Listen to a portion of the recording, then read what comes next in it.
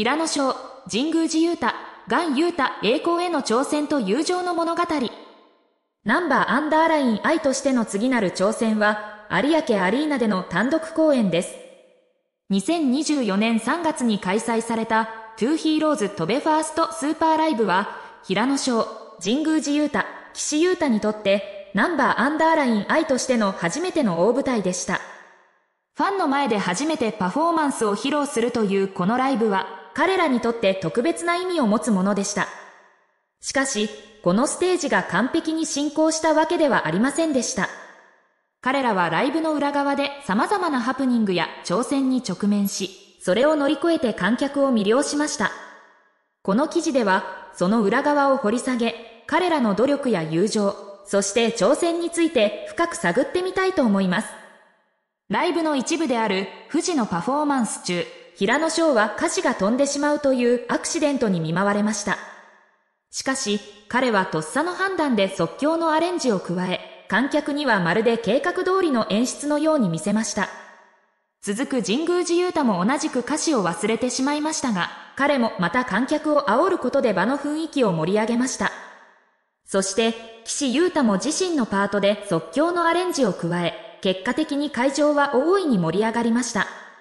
これらのハプニングは一見マイナス要素のように思えますが、彼らのプロフェッショナリズムと即興力が逆にライブをより一層特別なものにしました。ライブの後半ではメンバー同士が互いの良い点を称賛し合う場面がありました。平野は騎士のシャウトについてライブならではのテンションが普段と違ってよかったと評価し、騎士も平野の圧倒的なスター性を覇王色という独特の表現で称賛しました。また、二人は神宮寺のステージでの姿や歌声についても賛辞を惜しみませんでした。これらのやりとりからも、彼らが互いを深くリスペクトし、信頼していることが伺えます。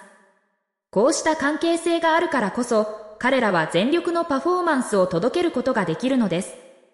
三宅健や北山博光、IMP、大東立木などの他のメンバーもライブを振り返り、彼らがどれほど練習に打ち込んできたかを語っています。特に三宅は、戸部にいる人たちは、みんな練習の虫だらけ、と語り、騎士については、会うたびに練習していた、とそのストイックさを称賛しています。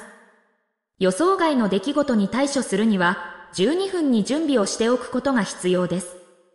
彼らのストイックな努力が、ハプニングをむしろ魅力的なパフォーマンスに変える力となったのでしょう。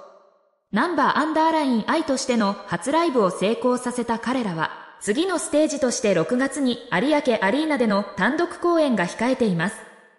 to HEROes や Coachella Valley Music Arts Festival 2024での経験を経て、彼らがどのような新しいパフォーマンスを見せてくれるのか、ファンの期待は高まるばかりです。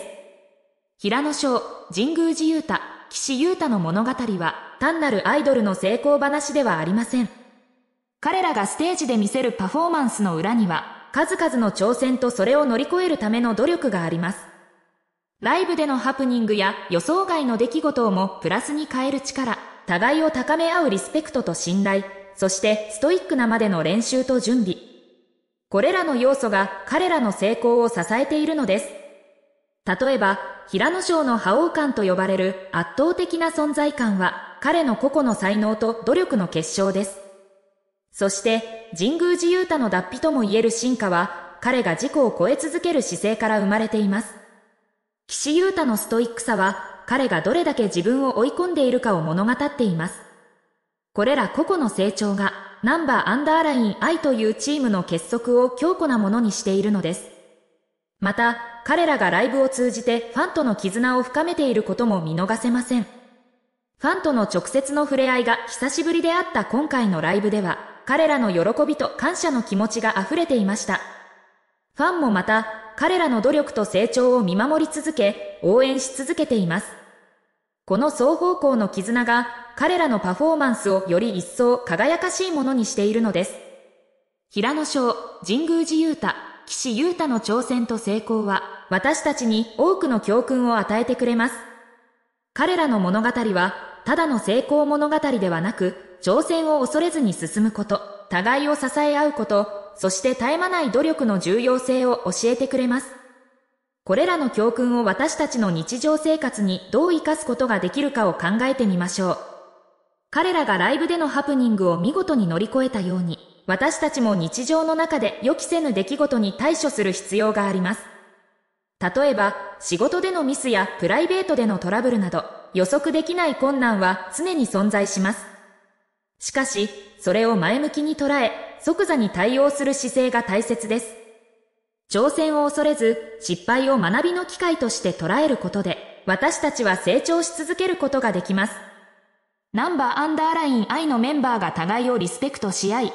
え合う姿勢は、私たちがチームや家族、友人と関わる際の良いモデルとなります。互いの良さを認め、励まし合うことで、関係性は強固なものとなります。例えば、職場でのチームプロジェクトや家庭での協力作業において、互いの強みを活かし合うことが成功の鍵となります。彼らのストイックなまでの練習と準備は、成功の裏には絶え間ない努力があることを示しています。私たちも目標に向かって継続的に努力することが重要です。例えば、資格試験の勉強やスポーツのトレーニングなど、目標達成には日々の小さな積み重ねが必要です。諦めずに続けることが最終的な成功につながるのです。ナンバーアンダーライン I のメンバーが次の公演に向けて準備を進めているように、私たちも新たな挑戦に向けて準備を怠らないことが大切です。新しい目標を設定し、それに向かって計画を立て、行動することで、私たちも次のステップへと進むことができます。新たな挑戦に向けて、具体的な行動計画を立てることが重要です。例えば、新しいスキルを習得するための学習計画を立てたり、健康のためのフィットネスプランを作成したりすることが考えられます。これらの計画を具体的に立てることで、目標達成に向けて確実に進むことができます。平野、神宮寺、騎士が日々の練習を欠かさなかったように、私たちも自己成長を促す習慣を身につけることが大切です。例えば、毎日少しずつでも読書をする習慣や、新しいことに挑戦する習慣を取り入れることで、自分自身を常に成長させることができます。平野翔、神宮寺勇太、岸優太の物語は、挑戦と努力、そして互いを支え合うことの重要性を私たちに教えてくれます。彼らがナンバーアンダーライン I として初めてのライブを成功させた背景には、日々の練習と強い絆がありました。私たちも彼らの姿勢を見習い、自分自身の目標に向かって進む勇気と努力を持つことができれば、必ずや成功へとつながるでしょう。この記事を通じて、あなたは何を感じ、何を学びましたか？彼らの挑戦や努力を見て、自分自身の目標や挑戦に対する考え方が変わったでしょうかぜひ、あなたの考えや感じたことを共有してください。そして、あなた自身の挑戦や目標についても教えてください。私たちはみんな、互いに学び合い、成長することができます。あなたのストーリーを聞かせてください。ナンバーアンダーライン I としての次なる挑戦は、有明アリーナでの単独公演です。彼らがどのようなステージを見せてくれるのか、今から楽しみで仕方ありません。そして、彼らがこれからも互いを高め合いながら、さらなる高みへと挑戦し続ける姿を見守りたいと思います。この記事を読んで、あなたは彼らの挑戦や努力についてどう感じましたか？あなた自身の人生においても、彼らのように挑戦し続けることの大切さを感じることができたでしょうか？彼らのストーリーは私たちに何を教えてくれるのでしょうか？ぜひ、あなたの考えを聞かせてください。